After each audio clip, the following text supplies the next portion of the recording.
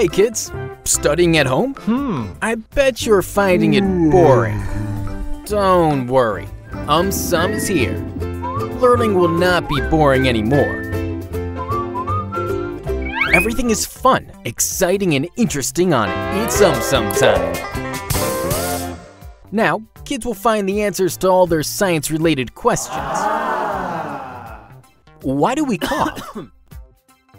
what is a coronavirus? How do bees make honey? What if Earth doubled in size? Hot shower versus cold shower, which is better? Why do we get pimples? Huh? Why do some people sweat more than others? Why are pizza boxes square? And many, many, many more questions, plus new videos added regularly. What are you waiting for? Subscribe to It's Um Sum Time.